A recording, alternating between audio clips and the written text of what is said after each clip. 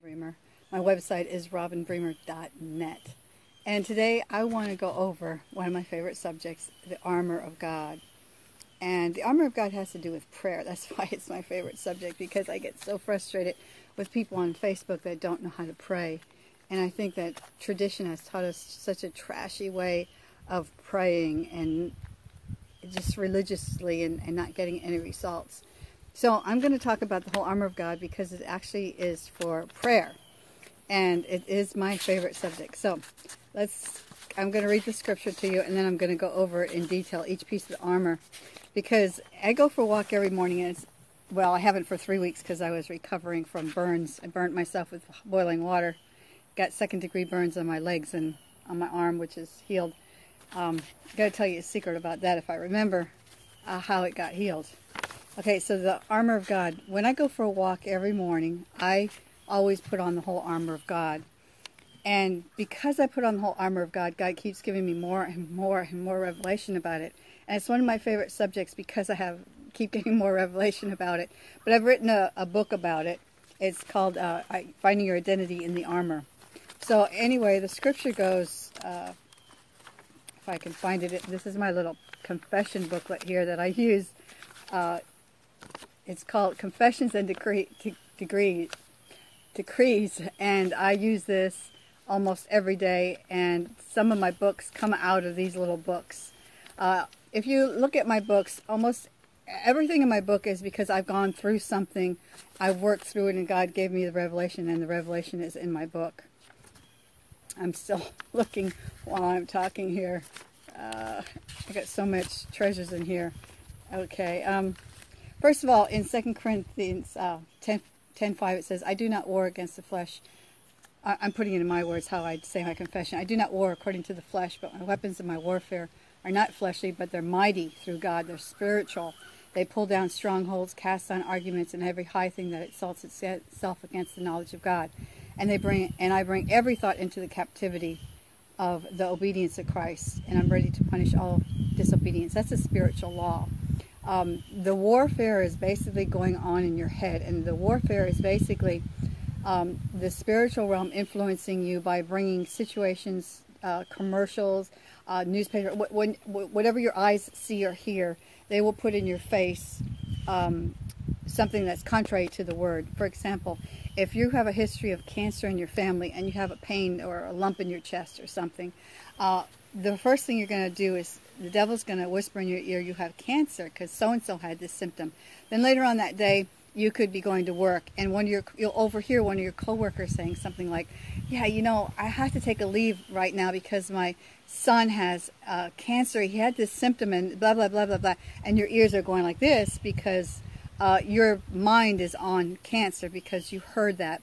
And then maybe you'll go somewhere else and you'll see a flash on the newspaper that the statistics show that so many people blah blah blah died of cancer. And then you'll just be walking down the street to go get a snack or to stop at Burger King. And um, you'll hear uh, some people over talking about how so and so died of cancer. So that's what happens in the spiritual realm. The spirit realm is always influencing us and speaking things that are contrary to God's word. God God's word says that by the stripes you were healed so the armor of God, you're coming from the identity and you're coming from the place of, of you were already healed. You have everything and you're trying to keep it. The devil is not trying to put sickness and disease on you. He's trying to take away your healing because you've already been healed 2,000 years ago. You, your spirit man, your perfect man, has everything in you that you need for life and godliness. And the devil is influencing you by uh, putting you putting people in your path to say certain things, influencing them to say um, certain things that make your thoughts uh, not agree with the Word of God. And those are the strongholds that you have to pull down. And by putting on the armor of God, you take down those strongholds. Uh, Ephesians 6:11 says it, and this is um, Amplified Bible. I don't usually use that. I prefer the New King James, and then my second favorite is Amplified. But it says, "Put on the whole armor uh, armor of a heavy armed soldier which God supplies, that you may be able to successfully stand up against all the strategies and the deceits of the devil.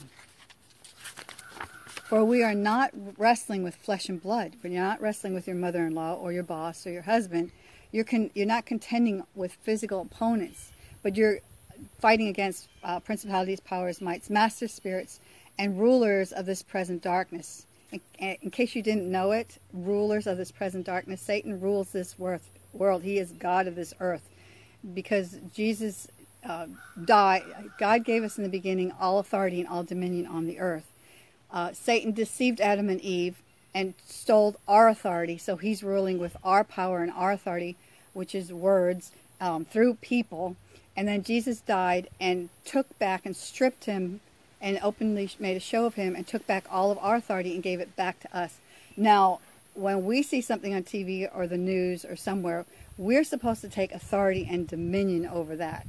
We have been given, we have been made the kings or gods or whatever of this earth, not God's supernatural, not supreme God, but overrulers of this earth. So we have to take authority and dominion over the things that we see happening on this earth that are not agreeing with God's word. And so, like I said, the battle is in our head. So let me go on and read this. Uh, against the spiritual forces of wickedness in heavenly places. Therefore, put on God's complete armor that you may be able to resist and stand your ground. So if you know somebody who is struggling with anything, they need to see this video and they need to learn more about the armor of God because it's saying you're standing your ground. In other words, you're keeping what the blood of Jesus paid for you to have. Um, and having done all the crisis demands, in other words, if you're sick, you can use natural things. You don't have to feel condemned to go to the doctor or to use essential oils or herbs or um, any kind of other healing that God put on the earth. He said the uh, leaves are for the healing of the nations. Well, number one is we should be healthy, but if we're not healthy, we can use resources God gave us, but we also can use our faith at the same time. I'm rem, remind me if you think about it, somebody that I need to tell you the story about these burns and what God told me about communion and what to say. Okay, so let's go back to the armor of God. Um, stand therefore, hold your ground. Okay, you're holding your ground the whole warfare is you keeping what the blood of Jesus paid for you to have. Not that you have to take it from the devil or you even have to ask it of God, but you've already been given it. Uh, so, having done all that the crisis demands, stand, stand firmly in your place. Stand therefore, hold your ground, having tightened the belt of truth around your loins. And uh, it go goes on. So, let me go over some of the armor of God. Uh, when I go for my walk, I say, Father, in Jesus' name, I put on the whole armor of God. I thank you for the helmet of salvation. Salvation in the original language means healing, deliverance, salvation, peace, prosperity, everything. When Jesus paid for our salvation, he paid for everything that I got bug flying around here. Everything when he put us in the garden, he gave us everything that we need for life and godliness.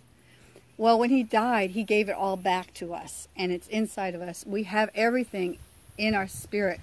We have to uh, uh, bring it out through uh, the words of our mouth, through our decrees, through our confession, through our faith, through believing. Um, we don't say if we need a cat, if we want the cat to come, we don't say, uh, here, dog. If you want the cat, you say, here, kitty, kitty, kitty. So if you want something, you have to call it to, you have to speak it uh, because it's already here it just needs to be manifested. And it's not that God's withholding it from you. You don't need to ask God for, God, heal me, because He already healed you. It's the devil trying to take healing from you. So you have to come from it from the point of victory. So uh, I put on the helmet. I, I say, Father God, in Jesus' name, I just put on the helmet of salvation. I thank you that you have given me salvation, that you have returned me back to a right relationship with you, that I am healthy, whole, and healed, that I have a relationship with you, that I hear your voice, that I'm seated in heavenly places. I can experience heaven. It's my home. I'm a spirit being. I have a body, and I my spirit lives in my body, and I have a soul. So I am a spirit. I live in a body and have a soul. So I am seated in heavenly places according to the Word of God, and and I just speak stuff about salvation. Then I say, Father, I put on the whole armor. I, I, put on the breastplate of righteousness. I thank you that I'm righteous, that I know that I can lay hands on anybody at any time and pray for them to be healed, and they'll be healed whether I did a stupid thing the other day, whether I just sinned, or whether I feel like it or not. It's not a matter of feeling, it's a matter of faith. And I have Jesus' faith. I have his love. His faith and his love is perfect in me uh, because I'm in him and he's in me. So I'm kind of giving a mini lesson about a whole lot of stuff right now. I get off sidetracked, I tell you. um, okay, so I say, thank you, Father, that I am righteous. Thank you that I have a right to healing. I have a right to everything I set my hands to do prosper. I have a right to get power to get wealth to establish your covenant. I have a right to um, be whole. I have a right to have my youth renewed. Uh, thank you, Father, that I am the righteousness of God. I have the right to everything the blood of Jesus paid for me to have.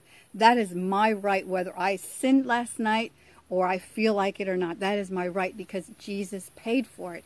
He wants you to have what he paid for. Then I say, Father God, I put on the belt of truth. The Word of God is truth. The Holy Spirit is truth. And I say, Oh God, thank you for the Holy Spirit. He is my best friend. I absolutely love the Holy Spirit. Thank you, Father, for the belt of truth, the Holy Spirit. I thank you that I hear his voice. I'm quick to do as I take the shield of faith. And God gave me a revelation about the shield of faith today. It says, uh, he said, well, let me just talk about it and then I'll tell you what he said. The shield of faith, I say, Father, out of all the armor pieces, that's the one that I think I know the least about. The one that I think I have the least revelation about is the shield of faith. Would you please show me what that looks like? And so I pray, Father, I hold up the shield of faith because the shield of faith, it says, above all, take the shield of faith, which will quench all the fiery darts of the enemy. Wow, that's a pretty important piece of armor that we need to know about because the battle's going on in our head, and sometimes you might think you're crazy or, or you're, you're freaking out because of events and circumstances and situations. But if you hold up this shield of faith, it will quench all those fiery darts that are speaking to your head and freaking you out, giving you a panic attack, scaring you, uh, making your body react a certain way because you're afraid. So the shield of faith, it says above all, take that, it'll quench all the fiery darts of the enemy. So the the all of the armor of God is the word of God. Each piece of the armor represents another uh, another piece of revelation or a piece of knowledge or a piece of understanding of who God is, another part of God, a piece of God. And the shield of faith that he showed me today, he says, when you hold up the shield of faith, what you're going to do is you're going to say, okay, like say I'm feeling sick in my body, like my burns. I had I spilled boiling water on my legs and on my my arm here. I don't know if you can see it. It looks really good now. It just has a little stripe here. Um, and I had second degree burns, and I drove myself to the hospital. But what I did, I, I right away just dumped cold water on them. Then I put aloe vera on them and I covered them and I went to the uh, urgent care because I hate hospitals. I hate even urgent care.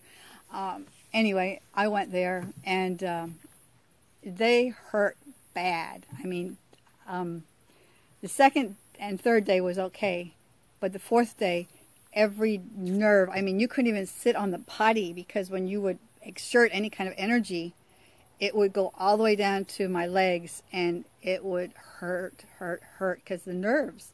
And if you, I got up and walked, I, I, would keep my legs propped up when I got up and walked. It was really, really painful. Uh, it would shoot up. And anyway, so God told me, uh, so what I did with the shield of faith, I would hold up the shield of faith and, it, and, and my, my body would say, oh, ouch, ouch, ouch, your legs hurt, your burns hurt.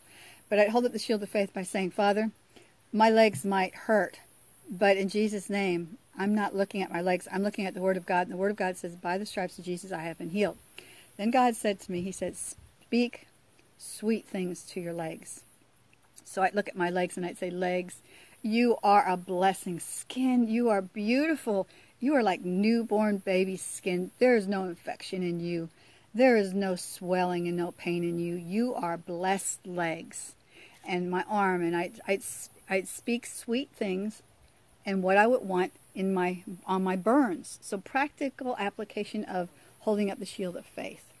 And then he said to me, he says, one of my problems, because I I have overcome fear of, of of certain things, and he says one of your main problem is you think that every thought every thought going through your head is your own head, and then you get condemned saying, Well, I know the word, I know the principles, I put them to use, I know the words. Why am I having these thoughts? Well, God said, Those thoughts are not your thoughts. And this was a revelation to me. I know that all the thoughts in my head aren't my thoughts, but He said, Every thought, because you're renewed, you renewed your mind, you know the word, and He said to me, Every thought in your head that does not agree with the Word of God is not your thought. Don't take credit for it. I said, wow, that's amazing. So every time I have a thought that doesn't line up with the Word of God, I say, no, that ain't my thought. Get out of here. I take God's thought and then I speak God's thought out loud. And it is so awesome. Instantly, you'll feel a difference. So if I could tell you anything else in this whole video thing, what I want to say is not all the thoughts in your head are your thoughts. If you are in depression, if you have obsessive uh, behavior, if you are into drugs, if you're into alcohol, if you have any kind of pornography, if you have any kind of addiction, um, don't let the devil shame you. Don't let the devil condemn you. Just get into the Word and find out what Jesus did for you. And then every thought that does not line up with that, do not think it's your thought. Say, that's not my thought. I'm not taking that thought. The Word of God says that I have everything I need for life and godliness. I am free of this addiction. I don't have to take this addiction. I don't. I'm not ashamed. I'm. I'm not going to allow the devil to shame me. I am in Christ Jesus, a child of God. I am loved. And just speak the words. If if you're in depression, you need to speak the words. You need uh, say what God says. Okay. So that is the shield of faith excuse me, I have to burp there. Sorry. Um, so that's the shield of faith. And then the last piece of armor that I put on is, this is really, really exciting. The last piece of armor I put on is the preparation of the gospel of peace. Now, I always said, God, what do you mean the preparation of the gospel of peace? What do you mean preparation? And um, he told me a long time ago, he says the preparation means you know the word, you study the word, you speak the word, you decree the word, now, the Word of God says that the kingdom of God and his peace shall increase. So, your goal with the gospel of peace is to take peace wherever you go. And that does not mean be comp- com- uh, agreeing with everybody what they say. No, peace means nothing missing, nothing broken. So, the gospel of the preparation the gospel of peace that you put on your feet are that just like Jesus, no matter where Jesus went, he brought peace. If somebody was, if he went, if Jesus went to Walmart and he saw somebody in Walmart in pain, he would go up to them and he would heal them.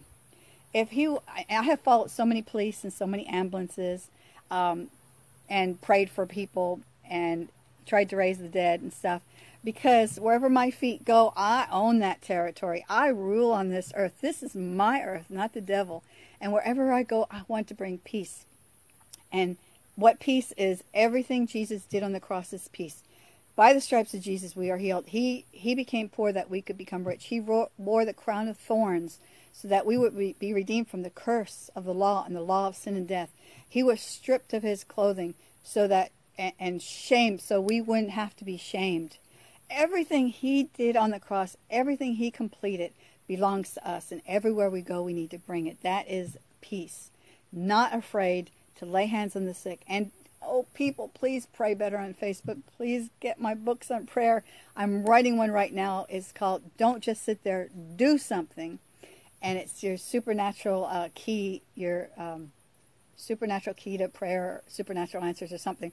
Anyway, we have to learn how to pray. We are not praying. We're doing stuff religious, religiously, not Christian. We're saying praying. Oh, I hate when people say that. Um, or they say, um, uh, God do this, God do that. God, God isn't doing it. He told you to do it. It's your job. It looks like the sun is over here, so let me move over a little bit so we don't have that sun in the background there. Um, there we go. um, let me turn that up a little. So, anyway, so get my book on prayer. And uh, the book on the armor of God is called Finding Your Identity in the Armor. And it's a really, really good book. It's one of my favorite books uh, that I've written. Anyway, So I'm going to end this. Um, I also want to tell you I have four audiobooks. Three, three more are being worked on right now.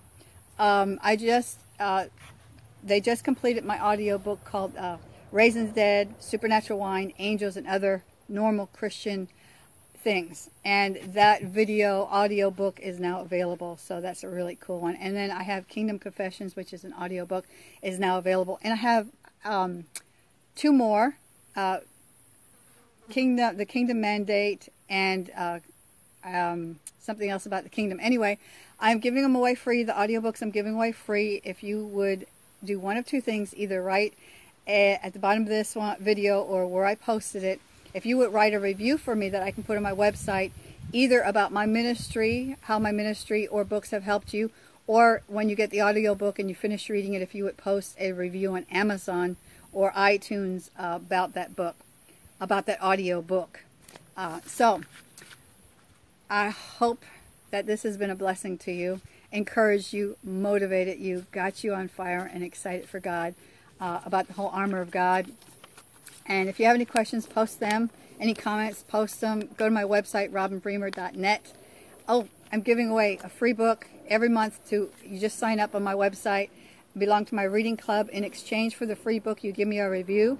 And if you're a really good reviewer, I'll give you all my books for free and just give me a review. I love to give my stuff away. Anyway, it's a beautiful day out here, and I hope you're blessed. RobinBremer.net is my website, and I will talk to you later.